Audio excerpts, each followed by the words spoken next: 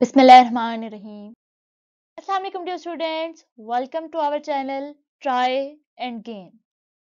आज हम स्टार्ट करेंगे क्लास चैप्टर नंबर टॉपिक है हमारा डेंसिटी डेंसिटी किसे कहते हैं? मैथ पर वॉल्यूम यानी किसी भी सब्सटेंस के मैस को और उसके वॉल्यूम को डिवाइड कर दिया जाए मैस को ऊपर रखा जाए और वॉल्यूम को नीचे रखा जाए और इनके डिवाइड करने के बाद जो आंसर हमें आता है वो उस सब्सटेंस की डेंसिटी होगी, ठीक है? डेंसिटी का मतलब ये है कि कोई भी सब्सटेंस का मैस फॉर एग्जांपल अच्छा वॉल्यूम हम किसे कहते हैं? पहले हम वॉल्यूम को डिस्कस करते हैं कि वॉल्यूम क्या है। कोई भी सब्सटेंस है फॉर एग्ज़ाम्पल आपने मेज के ऊपर एक किताब रखी हुई है। वो किताब कितनी स्पेस ओकोपाई करती है, कितनी जगह को घेरती है, वो उस बुक का वॉल्यूम है। ठीक है? यानी बुक ने जितनी स्पेस को घेरा हुआ है, जितनी स्पेस को ओकोपाई किया है, वो उसका वॉल्यूम है। ठीक है? मैस हम किसे कहते हैं? सिंपल वर्ड्स में वज़न ठीक है? किसी भी सब्सटेंस का जो वज़न है, उसको और उसके वॉल्यूम को डिवाइड कर दिया जाए तो हमारे पास क्या आ जाता है? डेंसिटी आ जाती है। अब डेंसिटी का जो टर्म है वो क्यों इस्तेमाल किया जाता है? इसलिए कि आप देखें कि हमारी कायनात में बहुत ज़्यादा ऐसी चीज़ें हैं बल्कि आप अपने कमरे में ही देखें ऐसा होगा कि एक चीज़ जो है वो वज़न में थोड़ी भारी है ठीक है और दूसरी जो है वो हल्की है। हालाँकि दोनों का जो साइज़ है वो सेम है तकरीबन ठीक है? इस तरह की आपको बहुत ज़्यादा चीज़ें मिलेंगी। फॉर uh, एग्ज़ाम्पल अगर आप कोई प्लास्टिक की चीज़ उठा के देखें ठीक है? वो लाइट होगी वेट में लेकिन उसी साइज़ की कोई दूसरी लोहे की चीज़ को उठा के देखें तो वो थोड़ी वजनी होगी। फॉर uh, एग्ज़ाम्पल अगर आप देखें कि uh, कोई ईंट को उठा के देखें ठीक है? ईंट बहुत ज़्यादा वजनी होगी और अगर आप बिल्कुल ईंट के साइज़ की जितनी जैसी शेप ईंट की है ना उसी शेप की अगर आप कॉटन को बनाएँ रुई को उस शेप में अगर आप ढाल दें तो फिर आप उस कॉटन को उठा के देखें तो वो कॉटन बहुत हल्की हो गई एज कंपेयर टू उस ईंट के, ठीक है? उस ईंट का जो मैस है वो ज़्यादा होगा और उस कॉटन का जो वेट है वो कम होगा। हालाँकि स्पेस दोनों की एक ही जैसी होगी, दोनों का जो साइज़ है, दोनों ने इक्वल स्पेस को घेरा होगा, ठीक है? ये है असल में डेंसिटी कि अपने मैस और अपनी जगह के हिसाब से यानी दोनों चीज़ें इक्वल स्पेस को घेर रही हैं इक्वल जो है दोनों की बराबर जगह को घेर रही हैं लेकिन एक का वज़न जो है वो ज़्यादा है और दूसरी का वज़न जो है वो कम है। इसको हम कहते हैं डेंसिटी मैस पर वॉल्यूम मैं अपने वज़न के हिसाब से वॉल्यूम को ऑक्यूपाई करना ठीक है? ये है डेंसिटी और आ, किसी भी सब्सटेंस की जो डेंसिटी को अगर आपने पॉइंट करना है कि इसकी डेंसिटी क्या है तो उसके मैस को ऊपर रखा जाए और नीचे उसके वॉल्यूम को रखे डिवाइड कर दिया जाए तो आपके पास आ जाती है डेंसिटी। इसका फार्मूला है m ओवर v m किसको बता रहा है? m हमें बता रहा है कि उस सब्सटेंस का मैस क्या है और v हमें बता रहा है कि उसका वॉल्यूम क्या है। बाद में आ जाते हैं डेंसिटी के यूनिट डेंसिटी का जो यूनिट है आ, हम बेसिकली जो डेंसिटी पढ़े हैं वो लिक्विड की डेंसिटी पढ़े हैं। ठीक है? तो इसका जो यूनिट है वो है ग्राम पर क्यूबिक सेंटीमीटर फॉर एग्जांपल अगर आप किसी भी लिक्विड की डेंसिटी देख लें तो उसके यूनिट जो होंगे वो ग्राम पर क्यूबिक सेंटीमीटर में उसको एक्सप्रेस किया जाएगा. फॉर एग्जांपल अगर आप वो लिक्विड ले रहे हैं, वो वाटर है तो वाटर की जो डेंसिटी है वो वन ग्राम पर क्यूबिक सेंटीमीटर है. बाद आ जाता है डेंसिटी मेयरमेंट कि डेंसिटी को आप किस तरह से मेयर कर सकते हैं? The density of a liquid is a measure of how heavy it is for the amount measured. If you weigh equal amount of volume of two different liquid, the liquid that weigh more is more dense. वो ये कह रहे हैं कि अब आप क्या करें अब आप एक कंटेनर लें बर्तन लें आप ठीक है फॉर एग्ज़ाम्पल आपने एक ग्लास लिया आपने एक मैं यहाँ पे ड्रॉ कर देती हूँ आपने एक ग्लास लिया उसके अंदर आपने वाटर को ऐड कर दिया उसके अंदर आपने वाटर को ऐड कर दिया। इसी तरह आपने एक दूसरा ग्लास लिया उसके अंदर आपने क्या किया? उसके अंदर आपने आ, कोई भी ऑयल ऐड कर दिया। ठीक है? एक के अंदर ऑयल है ये ये जो है ये ऑयल है और दूसरा जो है वो वाटर है। अब आप बताएँ कि दोनों में से किसका वज़न ज़्यादा होगा? दोनों ही लिक्विड है लेकिन जो वाटर है वाटर का जो वेट है वो ज़्यादा होगा और ऑयल का वेट जो है वो कम होगा। हालाँकि दोनों ही लिक्विड है, लेकिन वाटर का वेट ज़्यादा होगा, जिसका वज़न ज़्यादा होगा, उसका जो है वो डेंसिटी ज़्यादा होगी, क्योंकि मैस ओवर वॉल्यूम दोनों ने इक्वल वॉल्यूम को घेरा हुआ, अब जिस ग्लास में आप ले रहे हैं, जिस ग्लास में आपने वाटर डाला है, जिस ग्लास में आपने ऑयल डाला है, दोनों ग्लास का साइज़ सेम है। दोनों में आपने इक्वल अमाउंट यानी जितना आपने पानी वाले ग्लास को भरा है, उतना ही आपने ऑयल वाले ग्लास को भरा है। तो किसकी डेंसिटी ज़्यादा है? जिसका वज़न ज़्यादा है। वज़न किसका ज़्यादा है? वज़न वाटर का ज़्यादा है। इसका मतलब है कि जिस जिसका वज़न ज़्यादा है, उसकी डेंसिटी ज़्यादा है।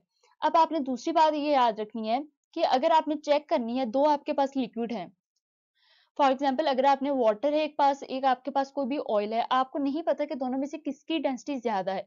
आप यूँ करें कि वाटर को रखें, ठीक है? वाटर के अंदर थोड़ा सा ऑयल ऐड कर दें।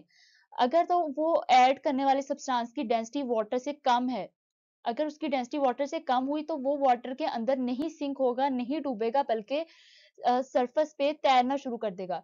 ठीक है? फॉर एग्ज़ाम्पल अगर आप वाटर के ग्लास के अंदर ऑयल को डालें तो ऑयल जो ऑयल है वो नीचे नहीं जाएगा, बल्कि वाटर की सरफेस के ऊपर फ्लोट करना शुरू कर देगा। इसका मतलब है कि वाटर की डेंसिटी ज़्यादा है और जिसकी डेंसिटी कम है वो ऊपर फ्लोट कर रहा है। इसी तरह अगर आप लोहे की या फिर कोई फ़र्ज़ करें नीडल यानी सुई अगर आप उसके अंदर डाल रहे हैं तो वो जो सुई है वो नीचे बैठ जाएगी, पेंदे में।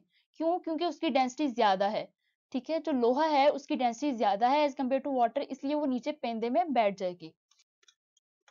नेक्स्ट है why density of liquid is higher than gases जो हमारे पास लिक्विड होते हैं, उनकी डेंसिटी ज़्यादा होती है और जो गैसेस हैं, उनकी डेंसिटी कम होती है। ऐसा क्यों होता है? इसकी वजह यह है कि अगर आप एक कंटेनर ले, कोई भी एक बर्तन लिया है आपने, उसके अंदर गैस को डाला है, ये गैस के मॉलिक्यूल्स हैं।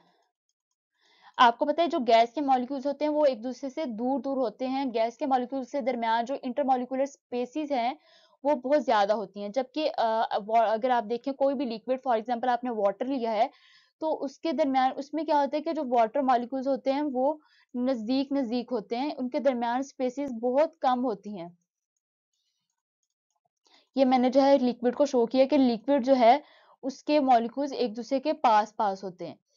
अब ये होगा कि जिसकी जिसके दरमियान इंटरमोलिकुलर स्पेसिस ज़्यादा है। फॉर एग्ज़ाम्पल गैस वो एक दूसरे से दूर दूर है। जाहरी सी बात है, उसका वज़न क्या होगा? उसका वज़न कम होगा। क्योंकि मॉलिक्यूल्स एक दूसरे से दूर दूर हैं, उन्होंने ज़्यादा स्पेस को घेरा हुआ है और उनके दरमियान खाली जगह बहुत ज़्यादा है। कंटेनर दोनों का कंटेनर का जो साइज़ है ना मतलब ये जो बाहर वाली बाउंड्री है, दोनों को इक्वल बर्तन में बंद किया है, एक में लिक्विड है, एक में गैस है।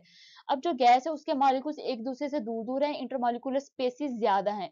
जबकि जो लिक्विड है, उसमें इंटरमोलिकुलर स्पेसिस कम है और वो एक दूसरे से नज़दीक नज़दीक है। अब वो एक दूसरे से नज़दीक है तो क्या है एक दूसरे से नज़दीक है, एक दूसरे के पास पास है तो इसका जो वज़न है, वो ज़्यादा होगा। ठीक है? उन्होंने वॉल्यूम दोनों का स्पेस है, एक ही तरह का कंटेनर है, लेकिन जो गैस है, उसके दरमियान स्पेसिस ज़्यादा है और जो लिक्विड है, उसके दरमियान स्पेसिस कम है, ठीक है? इनके दरमियान स्पेसिस कम है स्पेसिस कम होने की वजह से इन्होंने ज़्यादा स्पेस को ऑक्युपाई किया हुआ है, दरमियान में खाली जगह कम है, ठीक है? इस वजह से जो है वो लिक्विड ज़्यादा डेंस होता है गैसी से, क्योंकि गैसेस में तो बहुत ज़्यादा खाली जगह होती है। ठीक है, उन्होंने उस स्पेस को ऑक्युपाई नहीं किया हुआ। मॉलिक्यूल्स एक दूसरे से दूर दूर हैं, इस वजह से जो लिक्विड है, उसकी डेंसिटी गैसेस से ज़्यादा होती है। नेक्स्ट क्वेश्चन है why rain drop falls downward कि वाटर के जो मॉलिक्यूल्स हैं, वो नीचे को क्यों गिरते हैं, ऊपर को क्यों नहीं जाते? इसकी वजह यह है कि इसकी दो वजह है। पहली रीजन ये है कि जो ग्रेविटी है, वो हर चीज़ को अपनी तरफ़ खींचती है। ठीक है? ग्रेविटी की जो फोर्स है वो आपको होता है हर चीज़ को अपनी तरफ़ खींचती है। ये तो हम फिजिक्स की टर्म में बात हो, कि अगर आप कहेंगे ग्रेविटी हर चीज़ को अपनी तरफ़ खींचती है नीचे की तरफ़ खींचती है ठीक है? इस वजह से जो है वो रेन वाटर जो है रेन का वाटर वो नीचे की तरफ़ आता है।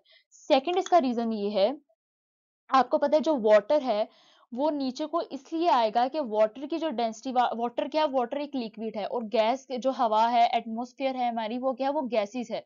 गैसेस का एक गुबार है गैसेस का एक मजमुआ है। अब गैस की डेंसिटी ज़्यादा होगी या वाटर की? ऑब्वियसली जो है वो वाटर की डेंसिटी ज़्यादा होगी because water is a liquid और गैसेस क्या है? गैस में मॉलिक्यूल्स एक दूसरे से दूर दूर होते हैं, उनके दरमियान इंटरमोलिकुलर स्पेसिस ज़्यादा होती हैं।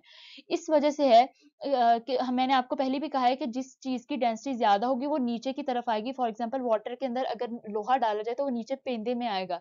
अब पानी की डेंसिटी ज़्यादा है और हवा जो है एयर है, उसकी डेंसिटी कम है तो क्या होगा? वाटर जो है, वो नीचे की तरफ़ एक्ट करेगा। वाटर नीचे की तरफ़ आएगा, इस वजह से जो बारिश के कतरे हैं, वो नीचे की तरफ़ मूव करते हैं, ना के ऊपर की तरफ़।